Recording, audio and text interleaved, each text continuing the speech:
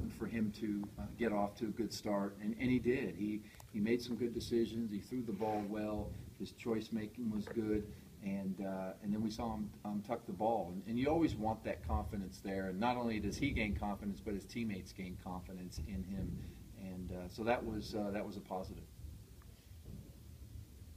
Like you mentioned defensively, it seemed like the the big difference between you, even what we saw last year when you guys shut out Sac State to open up, that you guys were able to, to tackle and guys were, you know, flying to the ball. Uh, you know, what do you credit that to, and, and just how impressed were you with the defensive effort? Well, from uh, from the moment when Greg interviewed and came in, and just what he talked about, what he wants, the uh, the tackling, the fundamental tackling of breaking down, of pursuing the angles that you take in pursuit.